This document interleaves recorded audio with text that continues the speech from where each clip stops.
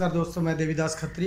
जैसा कि आप जानते हैं, मैं हर बार एक नए कलाकार से संगीतकार से, म्यूज़िककार से, पत्रकार से रूबरू करवाता रहता हूँ आप लोगों को। आज हमारे साथ हमारे जो मेहमान बैठे हैं, वो कलमेश त्रिपाठी जी हैं, जो एक मांझे हुए पत्रकार हैं, सीनियर पत्रकार हैं। इन्होंने राष्ट्रीय सहारा में बहुत सारे और पेपरों में काम किया।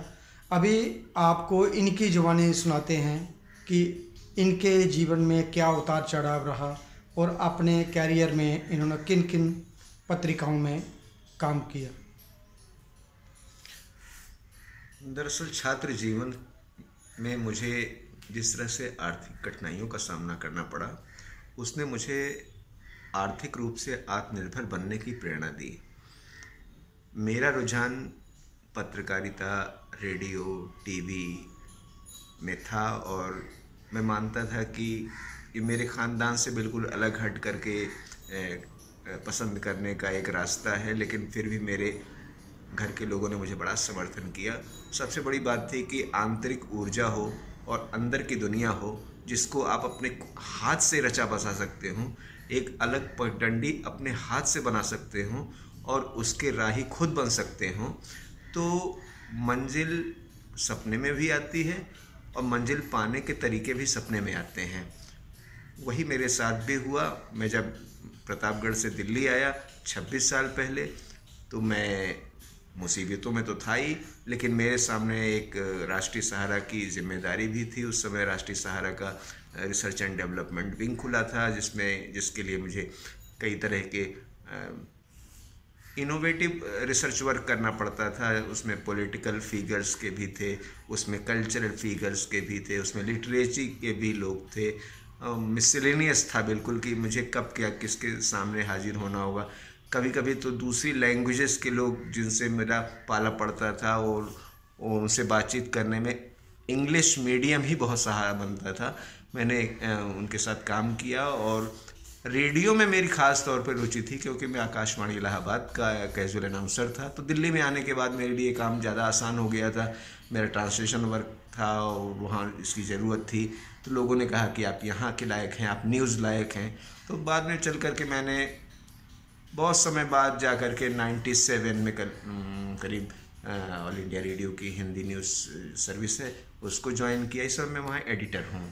और मुझे इस बात की खुशी है कि मैं अपने काम से संतुष्ट हूँ और मेरी जो योग्यता है उसको मैं वहाँ दिखा पा रहा हूँ।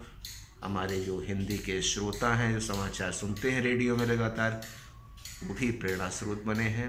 बस इन्हीं बातों के साथ सर एक बात और मैं आपसे युवाओं के लिए कि आप क्या मैसेज देना चाहते हैं कि उनको क्या करना चाहिए अभी बहुत सारे नए जो आगे आने से कतराते हैं।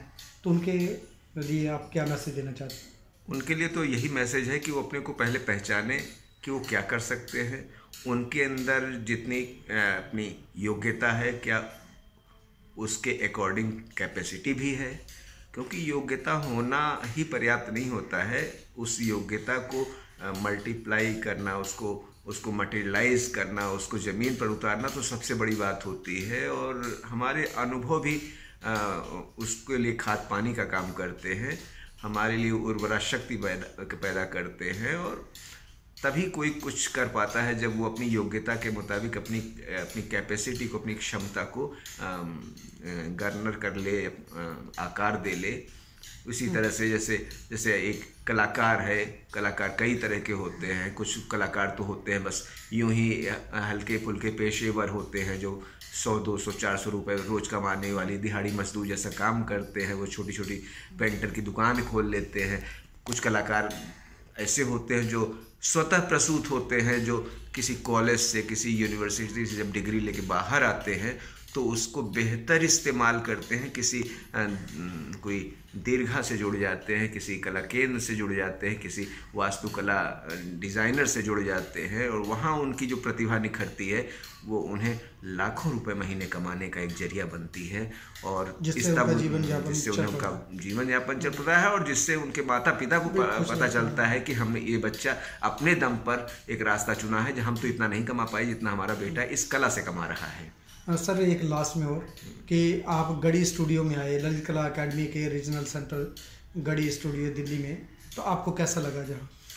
यहाँ मैंने जो आर्ट वर्क है जो यहाँ प्रस्तर के पर काम हुआ है पत्थरों को को रेतने का काम हुआ है लकड़ी को ठीक करके उसको एक कला का रूप दिया गया है और वो स्कल्पचर का काम हुआ है। ये भी एक, एक अच्छा प्रयास है और इससे इसको देखेगा जो भी तो उसके अंदर अगर देखने वाले के अंदर वो कला है तो कुछ तो बीज होगा जो कभी अंकुरित होगा फिर वो भी प्रेरित होगा। और वो भी अपने से अपने लिए रास्ता निकालेगा कभी कला की कोई सीमा नहीं होती। यहाँ जो काम हुआ है ये इसकी एक सीमा है ये इसकी सीमा से हाँ आगे बढ़कर बढ़िया बात बोली कि कला की कोई सीमा नहीं होती ये एक समंदर की तरह होता है। जितनी गहराई में जाते जाओ उतना सीखने को मिलता है। तो इसलिए इस केंद्र से लोग प्रेरित होंगे यहाँ से सीखेंगे यहाँ की पसीने से सीख करके उसको सोने में बदल देंगे और इस तरह से अपने जीवन को बेहतर बना लेंगे। धन्यवाद दोस्तों आपका भी धन्यवाद आप हमारे स्टूडियो में आए। दोस्तों मैं अगली बार फिर मिलूँगा किसी नई कड़ी के साथ किसी नए कलाकार के साथ। तब तक देवीदास खत्री को दो इजाज़त नमस्कार।